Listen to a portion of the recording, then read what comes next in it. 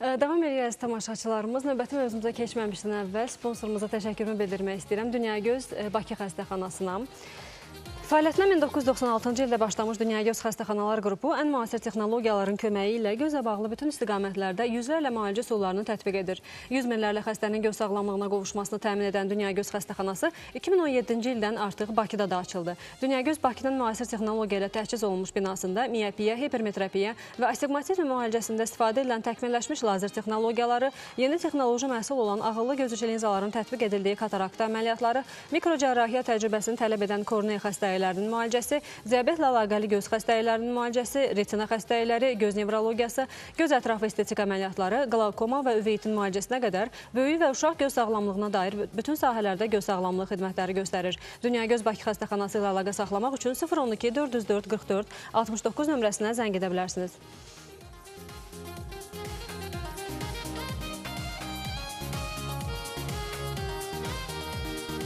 Təşəkkürlər Dünyagöz Bakı xəstəxanasına və mən digər sponsorumuza təşəkkürümü bildirmək istəyirəm. Dulce Nutrition firmasına bildiyiniz kimi orqanizmin müxtəlif funksiyaların gücləndirilməsi və bərpasına yönəldilmiş tam təbii tərkibli bioloji aktiv maddələr və vitamin məhsullarıdır. Mən bəziləri ilə sizə tanış eləyim. Dulce börünün tərkibində olan akay və yaşıl çay ekstraktı vasitəsilə maddələr mübadiləsini sürətləndirməklə artıq yağlardan, artıq çəkidən sizi azad edəcək və iştahınızı qaydaya salacaq. Dulce Detox orqanizmə gün ərzində hava, su ilə, qida ilə daxil olan toksinlərdən sizi azad edəcək və bu yolla da siz qaraciyərinizi tam ə, maksimum dərəcədə müdafiə etmiş olacaqsınız. Mind Matrix isə e, zəngin bitki ekstraktları vasitəsilə sizin beyin qan dövranınızı yaxşılaşdırmaqla yaddaşınızı gücləndirəcək, zehni yorğunluğu və diqqətsizliyi tamamilə aradan qaldırır. Heç bir asılılıq yaratmır, tam təbii tərkiblidir. Ə, e, tərkibində zəngin biotin kompleksi və zəngin vitamin məhsulları ilə e, saçlarınız və dırnaqlarınız və dərini bir arada çox sağlam, parlaq, təravətli və güclü etmək üçün gözəl bir vasitədir, təbii bir vasitədir. Dulce Gummy Vice vitaminləri isə uşaqlarınızın əqli, zehni inkişafı və immun sistemin gücləndirilməsi üçün gözəl bir vasitədir. Həmçinin də uşaqlar vitamin qəbulunu ələncəyə çevirsin deyə tərkibində içərisində olan vitaminlər aycıqlar formasındadır və cürbəcür gözəl dadlara malikdir.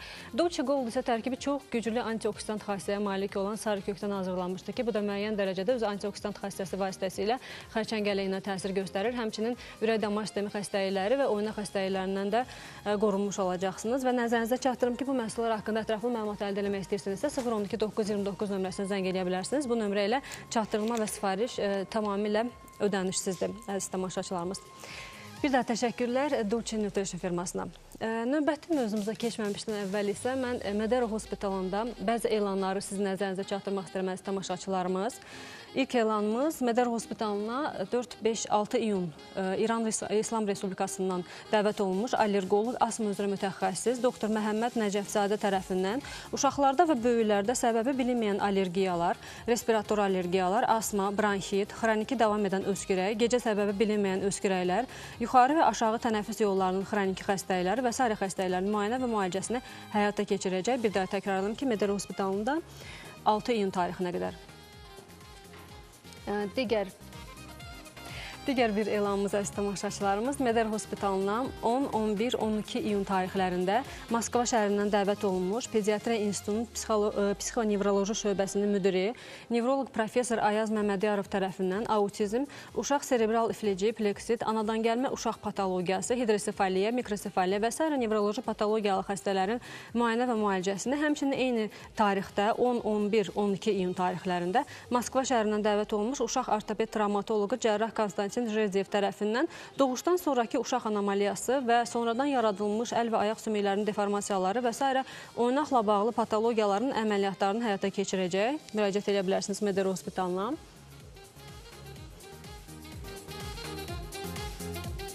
Meder Hospitalında sonuncu elanımız Meder Hospitalına 1 iyundan 10 iyun tarixinə qədər Ümumdünya Uşaqların Müdafiə Günü münasibəti ilə həkim mütəxəssislər, pediatr doktor Nərminə Məmmədova, uzman stomatoloq Ehsan Hevsolesan, endokrinoloq doktor Fərqanə Məmmədli, fizioterapevt, revmatoloq doktor Rəhmə Atəş, psixoloq uzman Büşra Kaya qəbulları ödənişsiz həyata keçirəcək. Bütün instrumental və laborator analizlərə isə 10% endirim təşkil olunacaq. Tətbiq olunur artıq 10 iyun tarixinə qədər əziz tamaşaçılarımız müraciət edə bilərsiniz Medero Hospitalına bu endirimlərdən, bu kampaniyalardan yaralana bilərsiniz. Növbəti mövzumuzsa, mən e, qeyd edeyim növbəti mövzumuzu el arasında zob xəstəlikləri kimi tanıdığımız e, tiroid xəstəlikləri, qalxana bənzər vəzi xəstəlikləri haqqındadır. E, nə səbəbdən yaranır, müayinə, düzgün müayinə və müalicəsi haqqında məlumat vermək üçün qonağımızı studiyamıza dəvət edeyim. Medero Hospitalın endokrinoloqu Ayşən Xəlilova. Doktor, buyurun. Xoş gəlmisiniz. Necəsiniz? Çox sağ olun. Təşəkkür edirəm gəldiyinizə görə. Biz keçə əyləşək. Buyurun, zəhmət olmasa. Bir daha təşəkkürlər e, və el arasında qalxana bənzər tiroid xəstəliklərinə zob xəstəlikləri deyirlər. Ümumiyyətlə məlumat verərdiniz zəhmət olmasa, amma mən ilk əvvəl əziz tamaşaçılarımı sizin nəzərinizə bir məlumatı çatdırmaq istəyirəm. Əziz izləyicilərimiz 5 iyundan 15 iyun tarixinə qədər Ramazan bayramı ilə əlaqədar olaraq həkimin qəbulu tamamilə ödənişsiz olacaq. Medar Hospitalın endokrinoloqu doktor Ayşən Xəlilova Azərbaycan Tibb Universitetini bitirdikdən sonra Türkiyənin Marmara Eğitim və Sankt-Peterburqun endokrin araşdırma ginekologiya üzrə təkmilləşmə kursunda olmuşdu və bir sıra Avropa ölkələrində mütəmadi olaraq master-klass və təkmilləşdirmə kursunda öz təhsilini davam etdirmişdi. Yüksək mütəxəssis tərəfindən qalxına bənzər vəzmin xəstəliklərinin müayinəsi və müalicəsi, birinci və ikinci tip şəkərli diabetin və onun ağırlaşmalarının müalicəsi, hipotalamız və hipoviz vəzli xəstəliklərinin müalicəsi, piyələnmənin müalicəsi endokrin sonsuzluq, böyrək üstü vəzi xəstəlikləri, e, e, hipertrixoz, e, aybaşı pozğunluqları, endokrin mənşəli sonsuzluq bu kimi xəstəliklərin müalicəsi üçün, müayinəsi üçün müraciət edə bilərsiniz. Bir daha təkrar edeyim ki, Ramazan bayramı ilə əlaqədar olaraq 5 iyun tarixindən 15 iyun tarixinə qədər Medr Hospitalın endokrinoloqu doktor Ayşən Xəlilovanın qəbulu, konsultasiyası tamamilə ödənişsiz olacaq. Və davam eləyək, biz qalxana bənzər vəzi xəstəlikləri haqqında ümumi məlumat verməyinizi istəyərdim ilk əvvəl. Çox sağ olun dəvətinizə görə. Qalxanvari vəzi boynumuzun ön hissəsində yerləşən, sağ-sol paydan ibarət olan, ortada da boyuncuq hissə ilə birləşən bir vəzidir. Ölçüsü kiçik olmayına baxmayaraq həyati vacib bir orqandır. O özü tərəfindən tez sərbəst T4 və sərbəst T3 adlı hormonlar ifraz edərək orqanizmin qan cəryanına buraxılır və bütün sinir sistemi, qan dolaşımına, reproduktiv funksiyamıza təsir göstərir və onu kontrol altına almış olur. Qalxanvari vəzi özü də hipofiz adlanan vəzi tərəfindən idarə olunur. Qalxanvari vəzin el arasında bunun xəstəliyinə zob deyilir. İnsanlar bunu zob kimi bilirlər. Ancaq normal qalxanvari vəzi hər kəsdə var. Sadəcə onun problemləri müşahidə oluna bilər. Onun xəstəlikləri müxtəlif olur. Qalxanvari vəzin ən çox yayılmış xəstəlikləri funksiyasının dəyişilməsindən asılıdır. Yəni hormonun az və ya çox ifraz etməsindən bağlı olaraq dəyişilir. Ən çox rast gəldiyimiz xəstəlik hipotireoz adlanır. Hipotireoz yəni qalxanvari vəzin funksiyası zəifləmiş olur. Bu zaman ona müvafiq olaraq pasientlərimiz ən çox saç tökülmədən, dırnaqların qırılmasından, yuxusuzluqdan və ya yuxuya getmənin çətinliyindən, bəziləri isə ayılma, gecə ayılmalarından şikayət edir. Qəbizlikdən Sonra xəstələr, qadınlarımız ən çox aybaşı pozunluqlarından şikayət edə bilərlər. Dəri quruluğu, daima halsızlıq və iş görməyə həvəssizlik kimi duyğulardan şikayətlənə bilərlər. Gipotireozlu adətən qalxanvari vəzin funksiyası zəifliyinə görə bu zaman təzyiq də, ürək döyüntülərinin sayı da azala bilir. Yəni, bədəndə maddələr mübadiləsi zəifləyir. Bədən ən çox kökəlməyə, piylənməyə meyilli olur. Yəni, ən çox pasientlərin şikayəti odur ki, doktor, mən elə bilin ki, kökəlməyə kökəlməmişəm, mən şişmişəm. Yəni şişlik duyğusu var.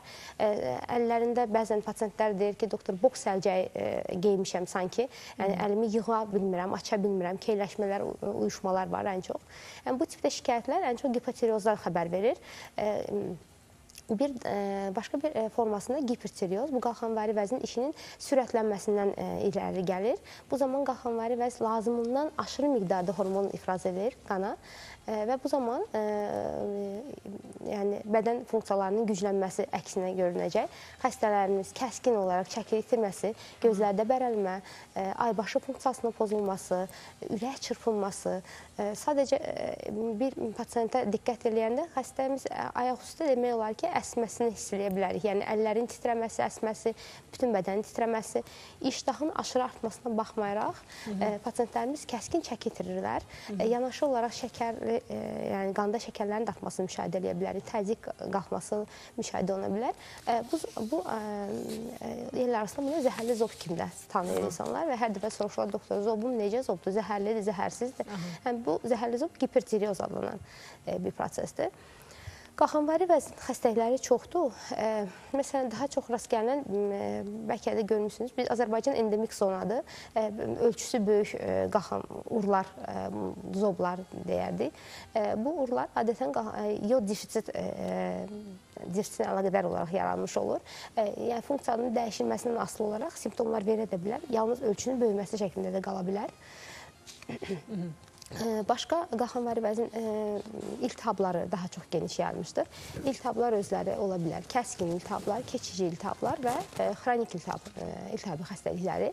Kəskin iltihabi xəstələri yəni tez müalicə olunur, tez aradan qalxır. Bəzən isə abses fonunda abses yarana bilər və cərrahi drenaja ehtiyac ola bilər. Keçici formalar ən çox hamiləlikdən sonra ola bilər. Yarım kəskin tireoiditlər bura aiddir. Hamiləlik tireoiditləri və radiasiyaya bağlı olan tireoiditlər ola bilər. Bu bir də var xronik tireoiditlər. Xronik tireoiditlər hal-hazırda çox geniş yayılmışdır. Bəlkə də eşitmisiniz, çox insanlar məndə Hashimoto tireoiditi deyilən, artıq adları ilə deyirlər, xəstələri tanıyırlar, çox məlumatlanırlar.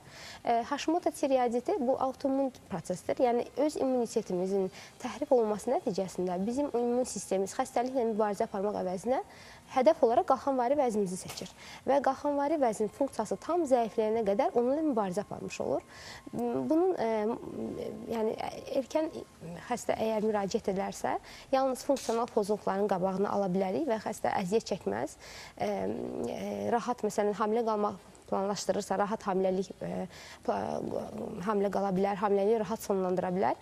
Əksinə e, isə gec olduğu müddətdə həm xəstənin şikayətləri getdikcə ağırlaşır həm də ki, qalxanvari vəzdə artıq düyünlər yarana bilir ki, bu düyünlərdə tədricən yəni kanserə qədər hakimliyə və gətirib çıxara bilir.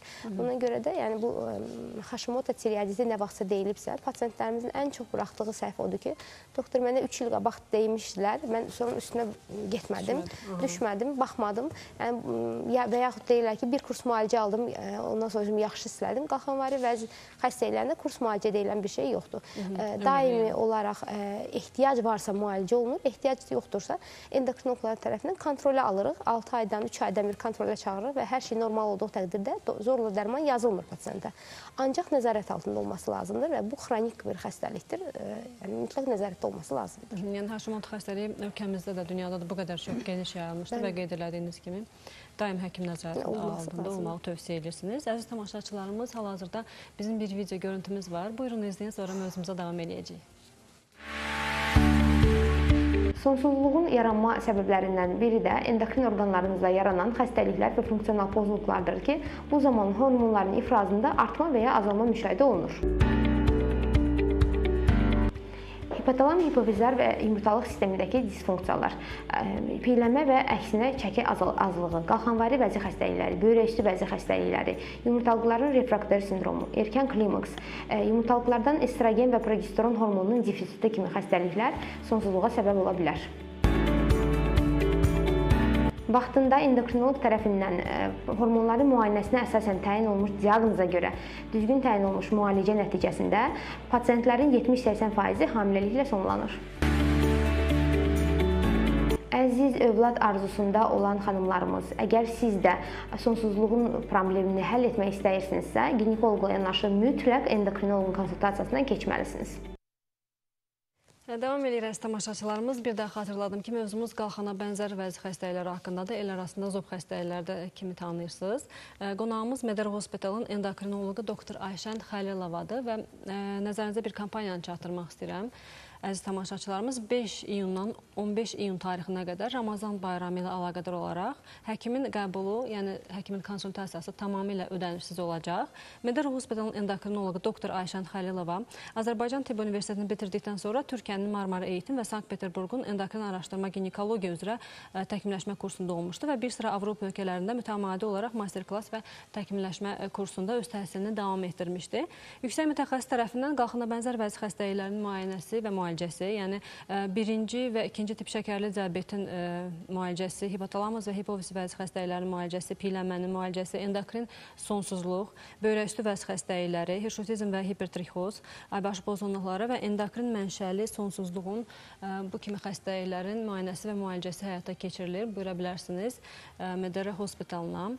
endokrinoloq e, doktor Ayşən Xəlilovaya qəbuluna. Bir daha təkrar edirəm ki, 5-15 iyun tarixlərində həkimin konsultasiyası tamamilə ödənişsiz olacaqdır. Və Ayşə xanım, biz mövzumuza davam eləyək. Qalxana bənzər vəzi xəstəliklərindən bizə ən çox ünvanlanan sual ə, düyünlər haqqındadır. Düyünlər ə, həqiqətən də, yəni bəzi bizə suallar ünvanlayırlar ki, normada ə, ola bilərmi, fizioloji ola bilərmi bu düyünlərdə, yoxsa mütləq bir patoloji prosesdən xəbər verirmi, necə müalicə olunmalıdır? Çox düzgün vurğuladınız. Qalxanvari vəzin düyünləri çox geniş yayılmışdır və çox zaman pasient əgər qalxanvari vəzində hormonal problem yoxdursa, onu hiss eləməyə bilər və artıq çox e, böyük bir düyünlə ilkin müraciət zamanı və ya digər bir başqa bir e, patoloji ünvanlıqda müayinə zamanı aşkarlana bilər. E, bu zaman müraciət etdi, artıq düyün çox böyük olmuş olur. Bizim bu zaman taktikamız necədir? Yəni bütün endokrinoloqlar dünya protokollarına əsaslanmalısı lazımdır. Hı -hı. Protokolların protokollara əsasən 1 e, sm-dən böyük olan istənilən düyünün inci iynə aspirasiyon biopsiya ilə xərçəng şübhəsi olub-olmaması ilkin olaraq araşdırılmalıdır.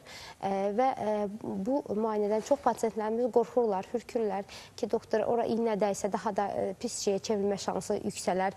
Doğrudurmu? Bu doğru deyil əsla. Adi müayinə metodudur. Ultrasəs müayinəsi nəzarət altında aparılır. Bu müayinə bizə kömək eləyir ki, əgər qalxanvari vəzin xərçəng prosesi başlamaq başlamaq istəyirsə, yəni düyünün xərçəngə çevrilməsi başlayırsa belə, bunu ilkin fazada aşkarlayaq və pasientimizə düzgün istiqamət verərək, yəni tamamilə e, sağalması mümkündür. E, əgər yenə deyirəm, erkən müraciət etdiyi halda. E, qalan hallarda, yəni biopsiya nəticələrinə uyğun, yəni ciddi bir şey yoxdursa, hormonal funksiyası yaxşıdırsa, pasientə ciddi diskomfort vermirsə, boğulması, sıxması, belə bir şeylər narahatçılıqlar vermirsə, yəni çox zaman heç əməliyyata belə göndərmirik. Pasientlər pacientlər sadəcə 6 aydan bir endokrinoloq nəzarəti altında, yəni həyatlarını davam etmiş olurlar. Hı -hı. Ona görə də əgər düyün varsa, bunu yəni qorxmayın və ləngitməyin, erkən olaraq həkimimizə müraciət edin. Hı. Mən Instagram suallarımızdan Buyurun. da istəyirəm səsləndirim. Bir tamaşaçımız qeyd edir ki, məndə boğulmalar olur, nəfəs ala bilmirəm. Ən çox da stres keçirdəndə, əsəbləşəndə, qəhərlənəndə daha da bərkiyir həmin nahiyə, qalxına bənzər bəzi nahiyəsi. Yəni bu məndə zob var deməkdirmi, ola bilərmi? E, çox zaman bizə e, pasientlər nevropatoloqlardan yaxınlaşırlar. Aha. Yəni əgər e, yəni bu hissiyatlar nevrozlarda, nevrosteniyalarda da olduğuna görə boğulma hissləri. Aha. Ola bilsin ki, yəni e, yəni baxırıq müayinə mütləq müayinə eləyirik belə bir şikayətli pasientləri. Əgər hormonları yerindədirsə, e, ultrasəs olaraq və ya palpator olaraq qalxanvari vəzi toxumasında bir böyümə, bir düyün aşkarlamırıqsa, yəni bunu nevroloji e, xəstənin statusu ilə əlaqələndiririk. E, əgər problem varsa, yenə də erkən müalicəyə başlayırıq. Bir tamaşaçımız qeyd edirlər Haşimoto tiroidi ilə əlaqədar müalicə alıram. Bu məndə digər bir problemlər də yaranır, burun axıntılarım yaranır. Yəni onunla əlaqədar ola bilərmi müalicə zamanı? Xeyr, bu adətən allergik rinitlərə ola bilər. Yanaşı olaraq onunla əlaqədar müayinədən keçsin, amma Haşimoto tiroidini düzgün eləyir, vaxtaşırı kontrol və müalicəsi mütləqdir. Hı -hı. Digər bir sualımız, bir il yarım bundan əvvəl TSH məndə 11 çıxmışdı, müalicə almışam, indi 3-ə düşüb. Mən hamilə qala bilərəm, yəni problem deyil, deyil mənə. E, hamilə qalmaq, mən elə bu mövzunu e, istedim vurğulayım. E, hamilə e, qala bilər, əlbəttə ki. E, TSH-ın yüksək olmasının hamiləliyə e, sonsuzluqda çox böyük rolu vardır. E, çox zaman e, mayalama baş vermir, TSH yüksək olanda, adi ovulasiya belə baş vermir, yumurta partlaması baş vermir və e, TSH-ın hamiləlik dövründə 2 nin altında saxlanmaq məsləhətdir. Yəni endokrinoloqlar adətən biz çalışırıq ki, hamiləlik planlaşdıran və hamilə qadınlarda 2-nin altında saxlayaq. Ancaq e, bəzən ə, zid ə, zidiyyət təşkil edən ə, protokollar da vardır ki, 4-ə qədər əgər bir şikayəti yoxdursa, antitepo, TG deyilən bir hormonlar var. Onlar norma daxilində olsa və heç bir şikayət olmasa biz yəni müalicə etməkdən də 4-ə qədər saxlaya bilərik TSH. Yəni hər kəsə fərdi yanaşılır. Ona görə də pasiyent yəni müayinədən keçməsi lazımdır. Elə endokrin sonsuzluqla bağlı ə, e, suallarımız çoxdur. Hətta sual verirlər ki, bunu endokrinoloq müalicə eləməlidirmi, ə, yoxsa ginekoloq müalicə eləməlidirmi? Əslində çox mübahisəli bir mövzudur.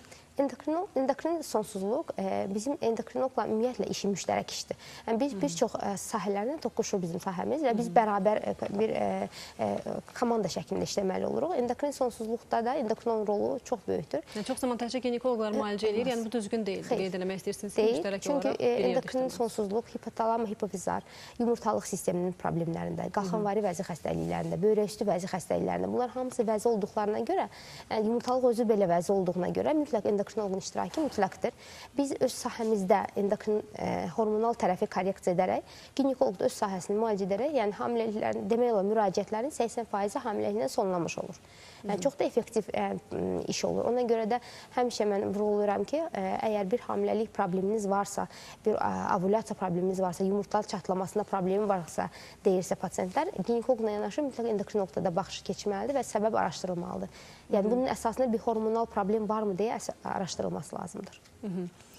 Əziz tamaşaçılarımız, mən bir daha nəzərinizə çatdırmaq istəyirəm ki, 5 iyun tarixindən 15 iyun tarixinə qədər Ramazan bayramı ilə əlaqədar olaraq həkimin qəbulu, həkimin konsultasiyası tamamilə ödənişsiz olacaq. Buradakı mən xəstəlikləri, hansı xəstəliklər haqqında sizin nəzərinizə çatdırım. Qalxına bənzər vəzi xəstəlikləri müayinəsi, müalicəsi, birinci və ikinci tip şəkərli diabet, onun ağırlaşmalarının müalicəsi, hipotalamus və hipofiz vəzi xəstəlikləri, piyələnmənin müalicəsi, endokrin sonsuzluq, böyrək üstü vəzi xəstəlikləri, hirşutizm və hipertrixoz, aybaşı pozuntuları, endokrin mənşəli e, sonsuzluqlar, bu kimi xəstəliklərin e, müayinə və müalicəsi üçün müraciət edə bilərsiniz. E, və bizə digər bir Instagram səhifəmizə sual səsləndirmək istəyirəm. Qeyd edir ki, məndə Hashimoto, yəni Hashimoto ilə bağlı suallarımız çoxdur. Hashimoto aşkarlandı və müalicə eləyirəm, amma müalicəyə baxmayaraq antiterlərin sayı yenə də yüksək çıxıb. Bizim pasiyentlərimizin ən böyük səhvlərindən biri də budur ki, e, çox zaman ehtiyac olmadığı halda antitelləri təkrar-təkrar müayinə elətdirirlər. Yəni bir antitellər olmadan, yəni. bəli. E, və birdən e, olur ki, pasiyent gəlir, deyir, doktor mən nə qədər analizə pul xərcləyirəm və çıxardanda baxırıq ki, yalnız antitellər yoxlanır. E, Hashimoto tireoidinin diaqnozu üçün ilkin olaraq bir dəfə antitellərin yoxlanılması kifayət edir. Biz müalicəni antitellərin e, kontrolu altında aparmırıq, hormonların kontrolu altında aparırıq və antitellər bizə yalnız diaqnozun qoyulması üçün yardım göstərir. Təkrarən onu yoxlayıb, o əlbəttə ki, immun statusunun vəziyyətindən asılı olaraq gəh artacaq, gəh azalacaq. Yəni onu özlərində dərd eləməsinlər. Bir dəfə yoxlayırıq, xəstəliyin diaqnozunu qoyuruq ki, bu Hashimoto tireoiditidir və ya bir başqa növdür. Əgər yüksək çıxırsa da, yəni diaqnoz qoyulandan sonra müalicəmizi davam etdiririk və qətiyyən təkrarən yoxlatmırıq onları. Yəni, yəni səhvlərindən biri də odur. Aha. Hansı şikayətləri olan, yəni Hashimoto xəstəliyi varsa, Hı -hı. hansı şikayətlərlə özünü göstərəcək? Qalxanvari vəzin e, bu ən çox e, Hashimoto tireoiditi, e, əgər onun müxtəlif mərhələləri var. Var xaşitoksikoz mərhələsi, yəni bu zaman özünü o zəhərli zob kimi aparır. Biz çox zaman diferensiasiya eləməli oluruq həkimlər ki, bu zəhərli zob həqiqətən tireotoksikoz halıdır, zəhərli zobdur, yoxsa Hashimoto tireoiditinin keçici bir mərhələsidir. Bu zaman nə ola bilər? Əsəbilik, ağlamağa meyillilik, arıqlama, gözlərdə bərəlmə, ürək çırpınması, sonra aybaşıda olan pozğunluqlar, əllərdə, ayaqlarda əsmə, bütün bədən titrəməsi, aşırı acılıq hissiyatı, daimi acılıq hissiyatı ola bilər. E, bu keçici dövr. Yəni bu əlamətlərin hamısı bir kompleks şəkildə olur, yoxsa bunlardan biri dediyinizdən biri? Çünki məsələn depressiya meyilli bu dəqiqə çox insanlarda var. Çox hissəsi müəyyən olur. digər səbəblər də ola bilər. Yəni fərqləndirmək üçün. Bəli, ən çox qadınlarda bu arada qeyd edim ki, qalxanvari vasitələri ən çox qadınlarda olur. Hı -hı. Kişilərdə olduğu təqdirdə demək olar ki, kişilərin heç bir şikayəti olmur. Yəni ən çox qadınlar həssasdır. Dərim niyə qurudu, dırnağım niyə qopdu, saçım niyə töküldü? Yəni kişilər bir o qədər önəm vermədiklərinə görə, yəni kişilər heç bir şikayət olmur normalda. Aha. Ən çox qadınlar daha çox şikayətçi olurlar, önəmsəyirlər, bəli. E, e, bunların hamısı da ola bilər, bir neçəsi də ola bilər. Yəni xəstədən xəstəyə dəyişilir. E, ikinci mərhələsi bu Hashimoto tireoiditidir, keçir öz-özünə sağalma dövrünə, sakitlik dövrünə. Buna tibbdə eutiroid dövrü deyirik. Bu zaman heç bir şikayəti pasiyentin olmayacaq, özünü yəni daha da düzəldiyini hiss eləyəcək və çox zaman elə bilər ki, öz başına sağalma baş verdi. Hı -hı. Üçüncü dövr bu qalıcı dövrdür, hipotireoid dövrü. Yəni qalxanvari vəzin işi artıq zəifləyir. Artıq qalxanvari vəzi toxuması həmin o yoxladıqları antitellərin hesabına zədələnmiş olur və qalxanvari vəz işini görə bilmir, öhdəsindən gələ bilmir. Bu zaman halsızlıq olur, yorğunluq, daima əzginlik.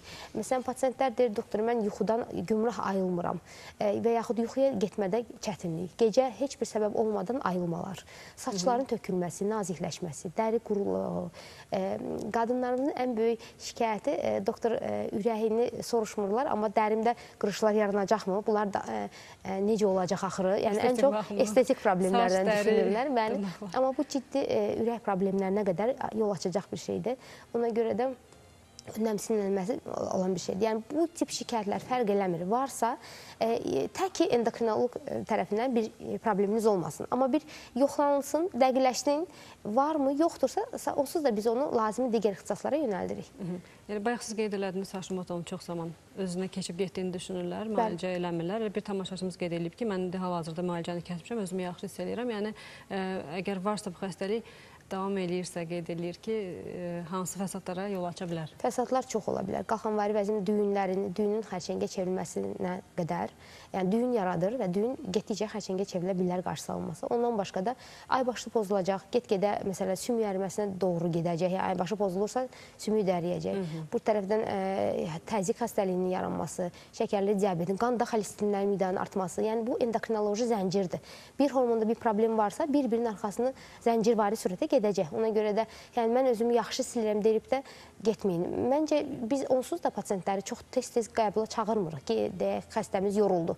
Biz onu 3 aydan bir, 6 aydan bir kontrolə çağırırıq. Yəni heç olmasa ildə 2 dəfə endokrinoloqa görünmələri lazımdır. Yəni həqiqətən orqanizm daxili mühit sabitliyini bir ə, nevroloji, nevrologiya bir də endokrinoloji Bəli. sistem tərəfindən ə, tənzimlənir. Ona görə də mütləq yəni check-up müayinələrə daxil olmalıdır qeyd edirsiniz. Daxil olmalıdır və ən azından nəsildə kimdəsə varsa və yaxud onu bənzər şikayətlər görürsə və yaxud hamiləlik planlaşdırırsa, mən burada bir şey qeyd eləmək istəyirəm hamiləliklə bağlı. Hı. Hamiləlik gipotireozları çox önəmli bir şeydir. Məsələn, e, bu yaxınlarda bir pasiyent müraciət edib TSH-ı 150-dir, artıq 12-13 həftəlik hamiləlikdir. Biz məcburən, yəni o uşağın necə olacağına qarantiya verə bilmirik və onu aldırmağını məsləhət gördük.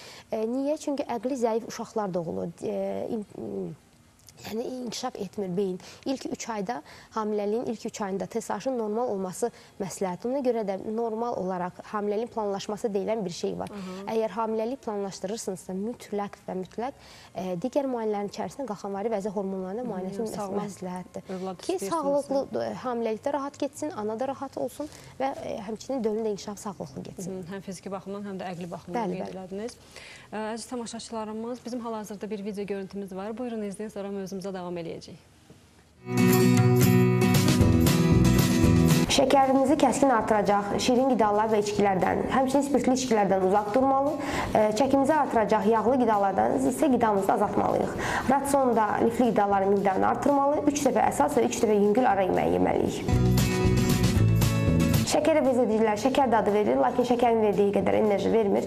Lakin şəkərli diabetli hamilə qadınlara, süd verən qadınlara, glikotenuriyalı xəstələrə qəti qadağandır. Ancaq yüksək dozada istifadə etdikdə qanda yağları artıra bilər və e, ishal yarada bilər. Şəkərli diabetli xəstələrə alkoqolun da yanaşı istifadəsi fəsadlar verəcəyinə görə istifadəsi qəti qadağandır. Səyahətə və yola çıxarkən özümüzlə insulin və tabletlərimizi götürməli, e, şəkər ölçüm cihazı və testlərini götürməli, özümüzlə hər kəskin düşmə ehtimalına görə qənd, e, bal və yaxud meyvə şirəsi götürməmiz lazımdır. Edirək tamaşaçılarımız. Bir də xatırladım, mövzumuz qalxına bənzər e, vəz xəstəlikləridir. Qonağımız Mədər Hospitalının endokrinoloqu doktor Ayşənd Xəlilovadır və nəzərinizə çatdırım ki, Mədər Hospitalda 5 iyun tarixindən 15 iyuna qədər Ramazan bayramı ilə əlaqədar olaraq həkimin qəbulu, həkimin konsultasiyası tamamilə ödənişsiz olacaq. Mədər Hospitalının endokrinoloqu doktor Ayşən Xəlilova Azərbaycan Tibb Universitetini bitirdikdən sonra Türkiyənin Marmara Eğitim və Sankt-Peterburqun endokrin araşdırma ginekologiya üzrə təkmilləşmə, təkmilləşmə kursunda olmuşdu və bir sıra Avropa ölkələrində mütəmadi mütəmadi olaraq master-klass və təkmilləşmə kurslarında öz təhsilini davam etdirmişdim. Bu müalicələr haqqında mən məlumat verim. Qalxana bənzər vəzi xəstəliklərinin müayinəsi və müalicəsi, birinci və ikinci tip şəkərli diabet, onun ağırlaşmalarının müalicəsi, hipotalamuz və hipofiz vəzi xəstəliklərinin müalicəsi, piylənmənin, endokrin sonsuzluğun müalicəsi, böyrək üstü vəzi xəstəlikləri, hirşotizm və hipertrixoz, aybaşı pozğunluqları və həmçinin sümük əriməsi kimi tanıdığınız osteoporoz xəstəliklərinin xəstəliyinin müalicəsi həyata keçirir. Doktor Ayşən Xəylova müraciət edə bilərsiniz. Və biz davam edək Ayşə xanım. Osteoporozda qaldıq. Elə mən istəyirdim osteoporoz, yəni sümük əriməsi bu qədər geniş yayılmışdı, xüsusən də xanımlarda. Bu da bir endokrinoloji pozğunluq nəticəsində yaranır. Bu haqqda istəyirdim məlumat verəsiniz. Çox sağ olun. Çox ə, vacib bir məqama toxunmusunuz. Ə, olun. ə, bu osteoporoz bu dəqiqə ə, deməli Dünya Səhiyyə Təşkilatının məlumatına görə ə, çox geniş yayılmış və xəstələri əlillik dərəcəsinə gətirəcək ə, hardasa 3-4-cü xəstəlik olmalıdır statistikada. Ə, və pis tərəfi odur ki, ilkin stadiyalarda o ağrısız gedir, lal gedir. Məsələn, mən pasientə ə, deyirəm ki, sizi gəlin osteoporoza görə müayinədə sümük ilə bağlı deyilə doktor, mənim heç sümüyüm ağrımır ki, niyə e, boşuna yoxlayaq. E, mən e, kimlərin yoxlanmasının tərəfdarıyam. Yəni bunlara mütləqdir yoxlanılması. Ona səslə onlara səslənmək istəyirəm. E, deməli, çox zaman qadınlarımız erkən kliniksə girirlər. Hı -hı. Yəni 28 yaşından bəri aybaşlı kəsilən xanımlarımız var. Yəni erkən deyəndə istəyirdim onu da izah eləyərdiniz. Yaşı deyərdiniz, hansı yaşdan artıq erkən sayılır? Hardasa 45 yaş, 40 yaşdan öncə kəsimə, Hətta 45-dən öncə belə bəli, erkən, erkən menopauza sayılır. Və bu zaman nə baş verir? Bizim məsələn çox zaman qadınlarımız önəmsəmirlər ki, mən artıq uşaq planlaşdırmıram, kəsilsəm belə nə olar? Amma qadın cins hormonları qadın orqanizminin şeytanları hesab olunur. Orqanizmi şux saxlamaqda, orqanlarını sağlam saxlamaqda. E, mən onu qoruyucu mələyə bilirdim bəli, sizə. yəni onu e, cıvıl e, cıvıl qadını saxlamağa aydın. kömək eləyir. Bundan başqa da sümüklərimizi qoruyur. Yəni sümüklərdən kalsiumun yuyularaq sidiyə çıxmasının qarşısını alır. E, və biz bunu orqanlarımızı erkən itirəriksə və ya funksiyası erkən zəifləyərsə, bu ola bilər əməliyyat nəticəsində. Məsələn, pasient bu gün gəlib 30 yaşından əməliyyat olunub, ona heç bir hormonal dərman təyin olunmayıb sonrası və artıq pasientin həyatı necə olacaq, yəni bilinmir. Artıq pasient 50 yaşlarına çatıbdır, ciddi sümük əriməsi prosesindən əziyyət çəkir. Bəlkə də e, yəni çox yayılıbdır ki, məsələn, nənələrimiz, analarımız e, sümük sınıqlarından əziyyət çəkirlər. Uzun müddət e, yəni dünyaların dəyişinə qədər çox zaman yataq vəziyyətində qalırlar. Bu hala keçməməmiz üçün -hı. mütləq və mütləq yəni endokrinoloq qəbulunda olub da sümük əriməsi prosesini araşdırmamız lazımdır. Densitometriya deyilən müayinə vasitəsilə araşdırırıq. Sümüklərin mineral sıxlığına baxırıq və ondan asılı olaraq normal sümük, osteopeniya, yəni sümük toxumasının zəifləməsi və yaxud osteoporoz artıq sümük ərimə e, kimi diaqnoz oluna bilər və bundan asılı olaraq da müalicə təyin olunur. E, D vitamini, digər hormonlara baxırıq. O hormonların da cavablarından asılı olaraq xəstələrimizi yardım etməyə çalışırıq və çox zaman bu prosesi dayandıra bilirik. Sümüklər möhkəmlənir və pasient e, kiməsə möhtac olmaqdan, yataq xəstəsi olmaqdan qurtarmış olur. Məncə bu çox önəmlidir. Həm pasientin özü üçün, həm də yaxınları üçün, yəni e, o çət, çox çətin bir hal haldır. E, əlbəttə ki, həmişə deyirik ki, e, pasientlər deyir ki, oğlum var, qızım var, Allah hər kəsin canını sağ eləsin, amma bu anda yataq vəziyyətinə düşən bir pasienti və nə qədər ömrü olacağını bilmirik bu. Ürəyi sağlam da orqanlar işləyirsə, bir uzun müddət yaşayır pasient və əziyyət çəkərək yaşayır.